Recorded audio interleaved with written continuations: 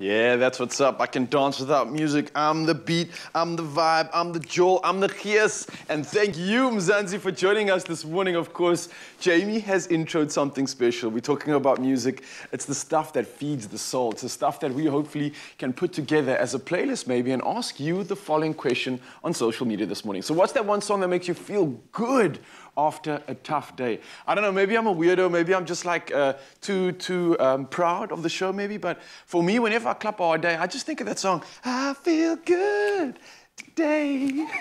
that theme song just plays in my head. I feel like I'm about to attack it, but you guys must have a power song that you want to come through this morning with. Maybe we can put a like feel good plus uh, a, a, feel good uh, day together and put a cool, cool playlist uh, together for you guys? I don't know. Let us know. Come through on our social medias. Today, of course, we're going to crush it. And speaking of crush it, while I crush this, watch Jamie Lee as she crushes the rest of the show. See you now.